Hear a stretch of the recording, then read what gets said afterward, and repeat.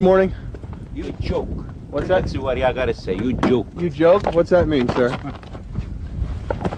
What's that mean? You joke? Am I a joke? No, just on the other side. That's okay. What do you have to say about it, sir? Okay, Okay, watch your head going in. Going back. That's say hat. That's right. I just got my keys. And put your head in. There you go.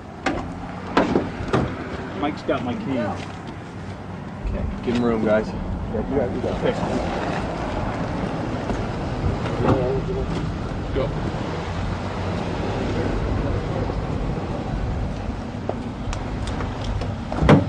Okay, I'm going to street. Thank you, guys. Thank you. All right, good job. Showtime. It's a shotgun mic. Suzanne. Mr. Stanfa, you have anything to say about the charges? No, You don't. joke. I'm telling you this A joke? I can't really understand, sir. Is it a joke or a... Sir, you have anything to say about these charges? How about you, sir? Can you make any statement to us about these charges? Now remember, tomorrow's Friday, get it done today.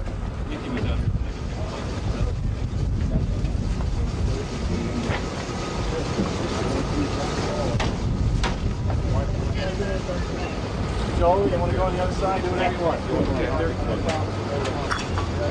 I'm getting some close up. He. I joke. Joke.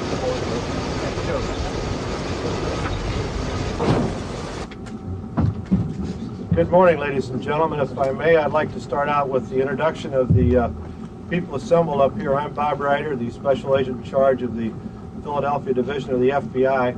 To my far left is Ed Borden, the District Attorney of Camden County. Uh, Then Lynn Abraham, the District Attorney here in Philadelphia County. You all know Mike Stiles, the United States Attorney for the Eastern District of Pennsylvania. Next to Mike is Joel Friedman, Chief of the Strike Force for the Eastern District of Pennsylvania. Of course, Commissioner Neal, Philadelphia Police Department, Attorney General Ernie Preate, the State of Pennsylvania. Barry Gross, Assistant United States Attorney with the Strike Force. Bob Courtney, uh, same position, and Captain John Meehan of the Pennsylvania State Police. I'd like to introduce, uh, first of all, Mr. Mike Stiles. Thank you, Bill. Good morning. We are announcing today the unsealing of a 12-count indictment that was returned yesterday, March 16th, by a federal grand jury here in Philadelphia. The grand jury has indicted 24 people, among them John Stanfa, for federal violations, including violations of the RICO statute during a period from October 1990 to the present. Defendants have been arrested in Philadelphia and in New Jersey uh, Details of those arrests will be given to you um, later in this conference by uh, In Philadelphia today, what appears to be a gang rubout is the latest fallout from an organized crime trial. A court case featuring a mob assassin turned government informant and secret surveillance tapes with blood curdling threats. Peter Van Sant has the Philadelphia story and the tapes. Bullets through the door, blood on the seat.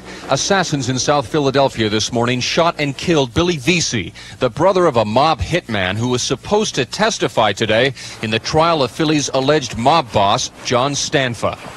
They knew where he was. Uh, they went up to the car, multiple shots fired, and uh, they knew what their target was, and they hit it. Veasey is the latest casualty in a Philadelphia mob war that is a throwback to Chicago of the 1930s. Since 1991, police say there have been nine gangland hits, killing five mobsters. Today, a third Veasey brother promised more bloodshed. One of my plans to find out who did it and kill them. John Veasey was scheduled to take the stand this morning to finger his former boss and seven of his associates. Veasey turned against John Stanfa after he was targeted for murder. The case against John Stanfa includes three murders, murder conspiracy, kidnapping, extortion, and loan sharking. The most damning evidence comes from Stanfa's own words, secretly tape recorded by the FBI, including this chilling threat spoken in Italian. Stanfa and cohort Sergio Battaglia were covertly videotaped entering a meeting where the FBI says they coolly discussed using acid to kill.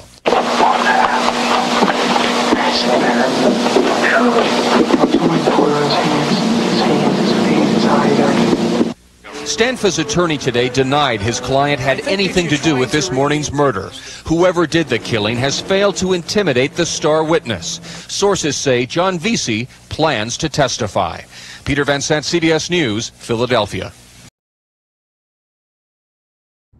At the federal courthouse here, security was intense as one-time mob boss John Stanfa and seven mob associates were whisked into the courthouse for their long-awaited trial. It's been 18 months since Stanfa and the others were scooped up in an early morning raid and charged with racketeering. John Stanfa, like any other person in this country, is innocent, and that the government has to prove beyond a reasonable doubt that he's guilty. In court, the unshaven Stanfa sat with his co-defendants as the jury selection process began. The racketeering charges against them include murder, kidnapping, conspiracy, and extortion. Federal prosecutors are refusing to comment for now, but defense attorneys are already attacking the government's case. Well, the government threw out a very big net, and they've pulled in a lot of people, including a lot of little fish, and they're lumping them together in their own categories that they feel are appropriate and we'll see what the evidence shows and sort it out from there. The government plans to play hours of secretly recorded tapes of Stanfa and the others. There are video surveillance tapes made by the FBI, and at least five former mobsters turned government informants are likely to testify. Well, the government's going to tell you that uh, they have to bring in dirt in order to throw dirt at other people, and that's no way to put on a case. The jury in this case will not be sequestered, but it will be anonymous. First, prospective jurors, though, have to fill out this 45 page questionnaire, which runs the gamut from if they speak Italian to whether they've seen or read any movies or books about the mafia. The questionnaire is extensive, from what bumper stickers do jurors have on their cars to their attitudes and feelings about a variety of topics. Defense attorneys say they can get a fair trial using this questionnaire. I think it'd be helpful to know what, what their impressions are and whether or not they really believe that a mob exists. There were strong protests from family members today about the jail conditions for Stanfa and his co-defendants. This jury selection process could take all week. The trial is expected to last up to three months. In Center City, Dave Schratwieser, the 10 o'clock news. Brian, what about, can we, uh, the killers are going to get deals, as you said in your closing.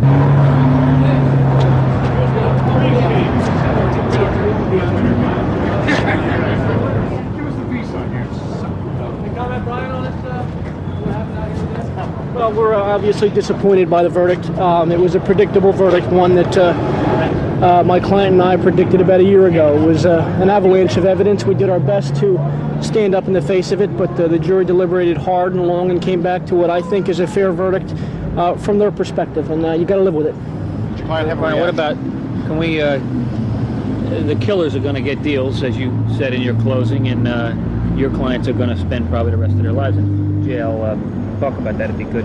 Well, the tough thing to stomach with these kinds of prosecutions is that, um, you know, for the victims' families, uh, those that lost life, to, to bargain with these kinds of deals is, is something that, that I quite frankly uh, uh, tried to show the jury is something that's uh, almost disgusting. But from a government's perspective, uh, this is how they can bring these prosecutions. Um, the tough part, I think, for everybody is is that. Um, you know, you've got to live with the aftermath. And uh, now, for the families of those who were convicted, they've got to live with the aftermath and that's the tough part. But uh, you pick yourself up and you and you move on. You think the evidence was just insurmountable for you guys?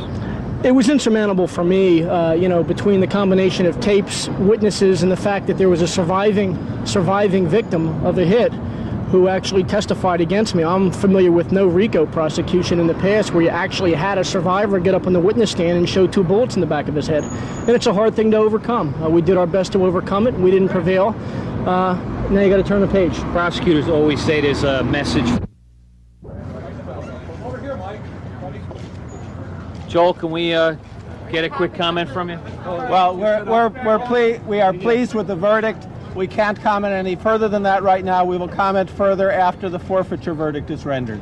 Thank you very much, everyone. Michael, No, it's a great victory, and we'll have more to say after the forfeiture verdict. Thanks. Mike.